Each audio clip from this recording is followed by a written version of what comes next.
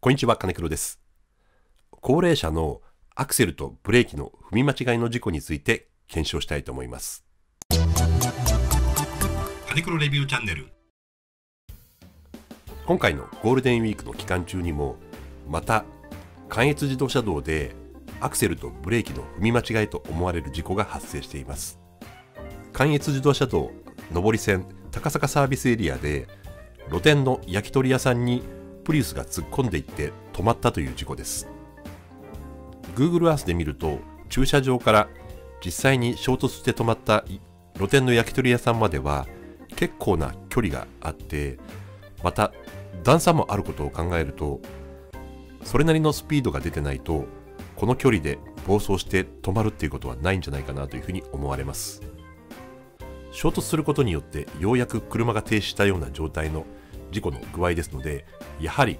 アクセルとブレーキの踏み間違いによる事故じゃないかなというふうに思われます。不幸中の幸いながら歩行者の巻き込みもなく店内もお休みで人がいなかったこともあり被害者は特に出てないようです。またプリウスによるアクセルとブレーキの踏み間違い事故でネット上ではプリウスミサイルという言葉が生まれるぐらい、プリウスは高齢者にとって危険じゃないかというようなそういう論も出てますが、まあ、単純にプリウスは日本でかなり売れた車種であるのでその事故の割合としても単純に多いっていう考え方もあると思います。私自身もプリウスアルファっていうプリウスのワゴンタイプの車種を1台所有しているので燃費とか、性能のバランスで結構いい車だということは理解しています。高齢者じゃない方と高齢者が事故を起こす場所の違いがはっきり傾向が出ていて高齢者になればなるほど一般の交通の場所で交通事故が起きています。一般の交通の場所とは高速道路等のサービスエリアや店舗の駐車場コインパーキングでの事故が高齢者になればなるほど事故が多い現象になっています。まさしく今回のサービスエリアの事故でも同じことが言えています。また年齢別による駐車場などの行動から見るペダルの踏み間違いにしても高齢者じゃない方に比べて高齢者になればなるほど発進と直進時に事故を起こしているということが分かります。操作を誤ったドライバーの人的要因としてはペダルの踏み間違いに関しては慌ててパニックが一番多くその次に高齢者ということになります。この合わせ技の慌ててパニックした高齢者というのはその2つの要素が重なると事故が起きる可能性は高いんじゃないかと思われます。私もこのチャンネルとは違う別のビデオブログのチャンネルで高齢者のパニックによる事故っていうのを経験したことがあるのでその体験談は違う動画でお話したことがあります。車の構造からするとアクセルとブレーキは隣り合わせにあってアクセルを踏めば前進して隣のブレーキを踏めば車が止まるという構造になっています。当たり前といえば当たり前ですがその進むと止まるが隣同士にあるっていうことは、まあ、誰でも高齢者じゃないとしても踏み間違えて操作を誤ってしまうっていうことは十分考えれると思います。例えば私もバイクやスキー好きでバイクに乗ったりスキーをしたりするんですけど曲がる方向を誤ってそっちに行ったらダメっていう方向を見てしまうとそっちの方に進んでしまったりすることないですか？バイクやスキーでコーナーを曲がるときはコーナーの出口とか行きたい方向体を向けて目線を行かないとうまく曲がれない時があります。崖などであこっちに行ったらダメっていう方向を見てしまうとなぜか頭がパニックになってるのかもしれませんが行ったらダメ行ったらダメと思いながらどんどんその行ったらダメの方向に行ってしまうっていうことはよくあると思います。高齢者になってしまえばパニックになってやっちゃダメっていうことは頭で分かっときながら体が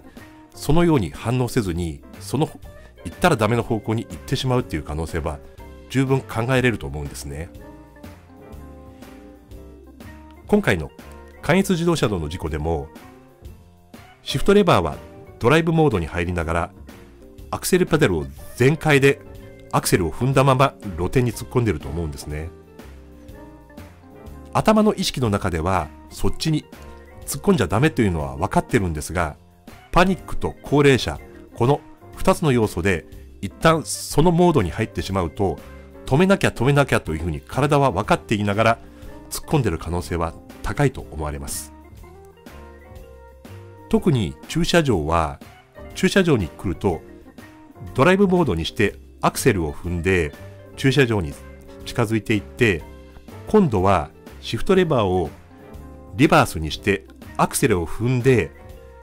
交代しながらちょうどいいところに足をブレーキペダルに踏み替えて駐車場で停止します。つまりシフトレバーとアクセルブレーキこの手と足の作業を何回か交互で繰り返しながら車を駐車場に止めるっていう操作をするときに誤って自分とは思っていない方向ドライブとかリバース自分の想像していた方向と違う方向に車が動いていってしまったときにやっちゃダメやっちゃダメと分かっておきながらそのドライブだったりリバースのまま思いっきりやっちゃダメと分かっておきながらアクセルを踏み込んでしまって突っ込むっていうことが多いんじゃないかなというふうに思われます。過去の私の YouTube 動画でプリウスはドライブモードとリバースもう一つブレーキっていうシフトレバーがあるんですけどその操作がぴょこんって戻ってしまって今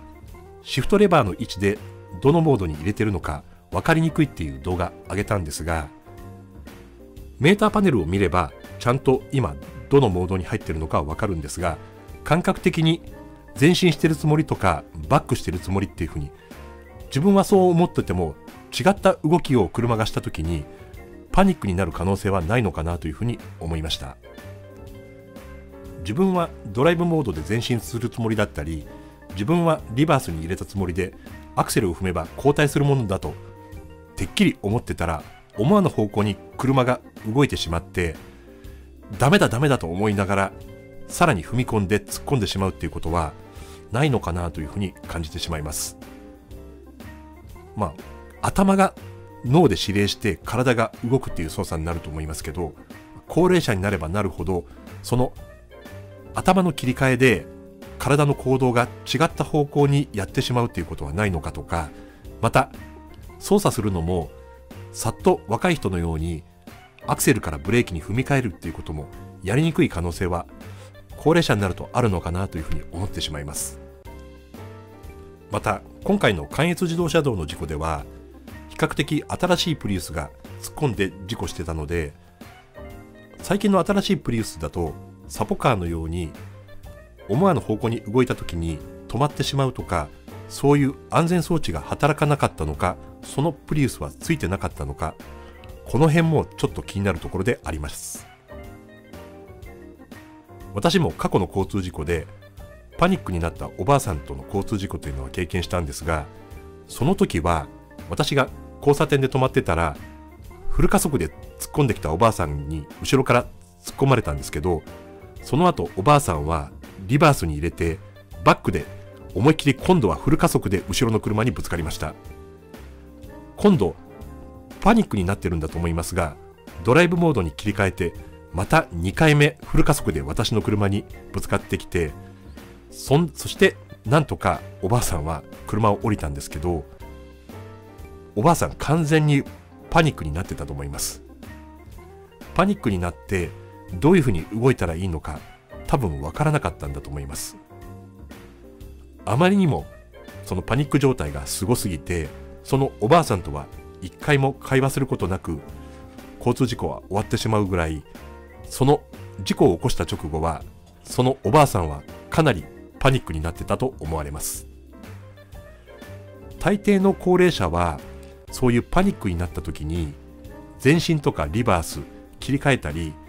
アクセルをやっちゃダメと思いながらも踏んでしまうっていう可能性は高いんだろうなというふうに過去の私の交通事故でもそう思いました。若い方と高齢者とでは交通事故を起こすパターンは全く違う可能性は高いんだと思いますができるだけ安全で止まれるとか人に危害を与えないようなそういう車の進化に対しても今後望みたいと思いますしできれば東京などの交通の便のいいところではできるだけ高齢者は公共機関を使っていただくのが一番安全じゃないかなというふうには思います。今回は東京池袋の高齢者の事故に対してまた 今回は東京池袋の交通事故に引き続き関越自動車道でプリウスがアクセルの踏み間違えと思われる事故について動画でお話しました。またいろんな違った角度から動画上げたいと思いますのでよろしかったらチャンネル登録よろしくお願いします。それでは。